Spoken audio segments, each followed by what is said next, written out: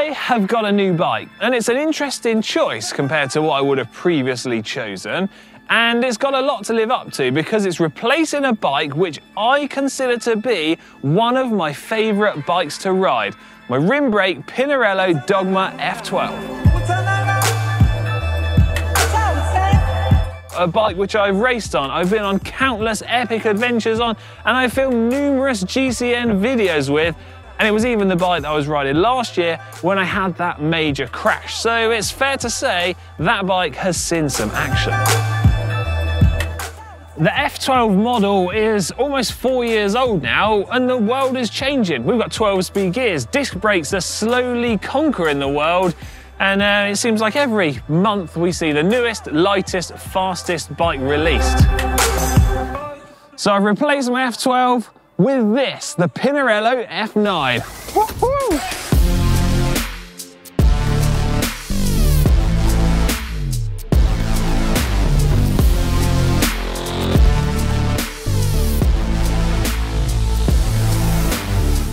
Whilst I've had this bike for a few weeks now, you won't have seen it before on any videos on our channel, and that is because the videos I have used this bike for simply haven't been out yet. But if you keep your eyes peeled and subscribe to GCN and GCN Tech, well, not only can you see this cool new bike, it really helps support what we're doing, so we'd really appreciate that. Anyway, to the bike. This is the one of the latest models from Pinarello in the F range lineup. This is an F9 and it sits one lower than the range topping Dogma F, which is what teams like Team Ineos are using. The colour is razor white, which I think looks absolutely beautiful, but it's an unusual choice for me personally. And here in the UK, you are almost certainly never gonna see another one in this colour. And that is because this bike is not gonna be sold in the UK. Hi Alex, um, just wanted to show you my brand new bike. It is the Pinarello F9 in razor white. Mm, how cool. Now the reason I've typically avoided having a white bike in the past is because I believe bikes should be ridden in all weather conditions and gradually a white bike tends to get a little bit dirty and grubby and hard to keep clean. So to combat that, on my new bike, I've ceramic coated it and then on top of that, I've applied Silca's graphene wax. So hopefully it's gonna keep this bike in tip-top condition for as long as possible. The frame size is a 57.5 centimetre, which is essentially a large in most other bike brands, and it's constructed from T900 carbon fibre, which is essentially one grade lower than what's used in the Dogma F. And this is one of the ways that Pinarello are trying to differentiate the F9 from the range-topping Dogma. And I've got to say that for your everyday rider, I think you'd be hard pushed to feel the difference in the frame weight and the frame stiffness, but what you will notice is the bit of extra cash that's left in your wallet. This thing is built up with the latest Shimano Dura-Ace 9200 semi-wireless group set. And when I got the bike, it came with some 40mm deep Pinarello Most carbon fiber wheels, which I've actually switched out for at the moment these, which are the Shimano Dura-Ace C50s. And from the few weeks I've been riding this bike, I'm currently switching between these wheels and a set of Zipp 454 NSWs because I can't really quite decide which to leave in the bike yet. But let me know in the comments section down below and um, we can decide which ones to leave in. The tyres which are fitted onto the C50 wheels are the Pirelli P0 Race TLR SLs in a 26mm wide. Now, even though they're a 26, fitted to these C50s, which have got a 21mm internal rim width, they actually measure up slightly wider, so they're more like a 28. And the reason I've got those fitted at the moment is because here in the UK, gradually it's kind of getting to summertime, so the roads are clearing up a little bit.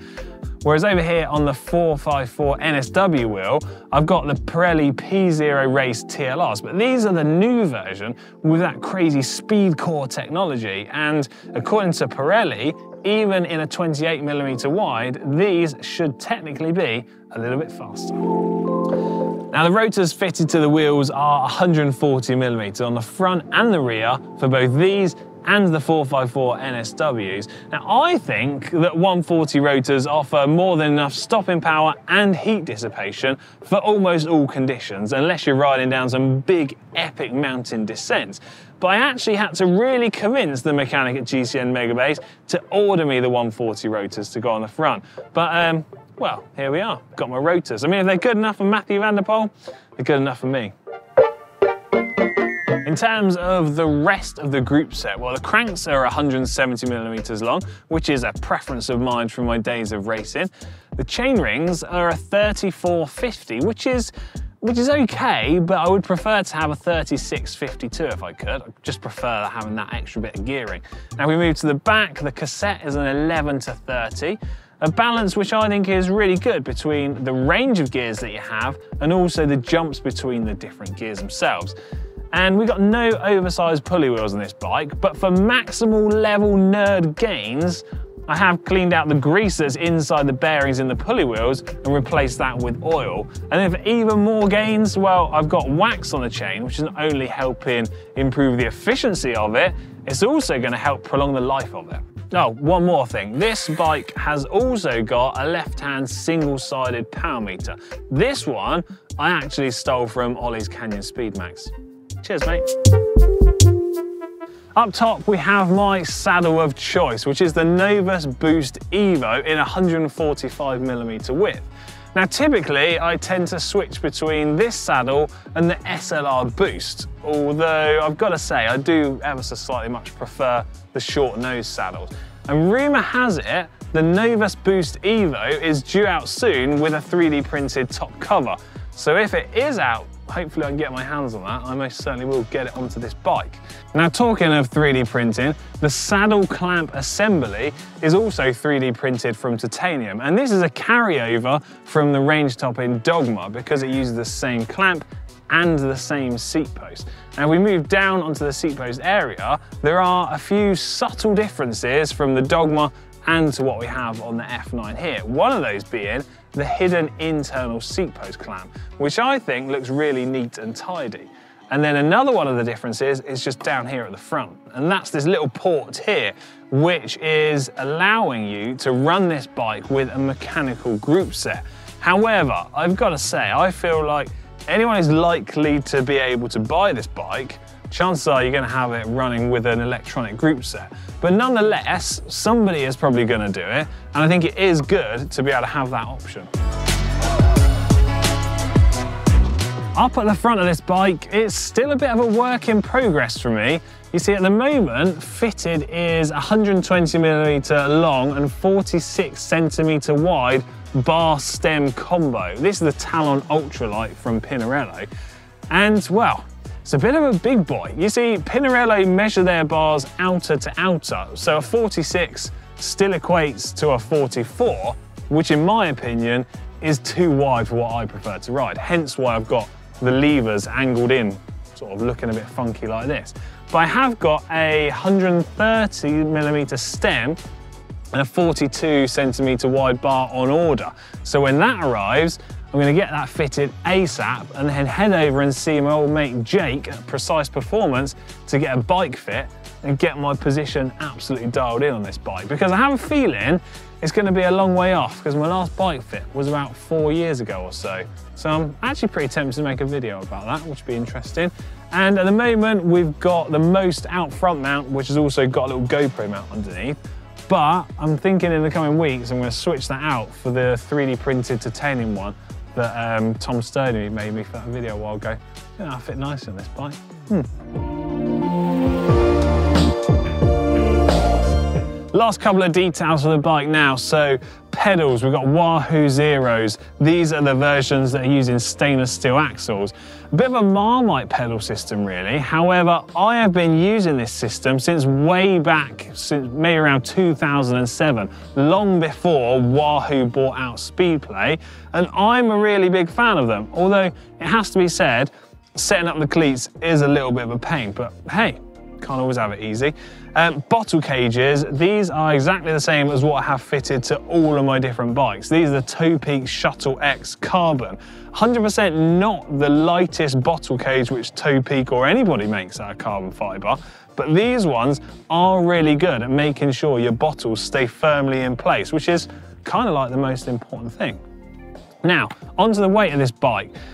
And I've got to just confess here, I left my scales at home. So what I'm gonna do is weigh the bike when I get home and then we'll put the weight up on screen now. So hopefully, just there. right, freehub sound check this thing. Get this on speed.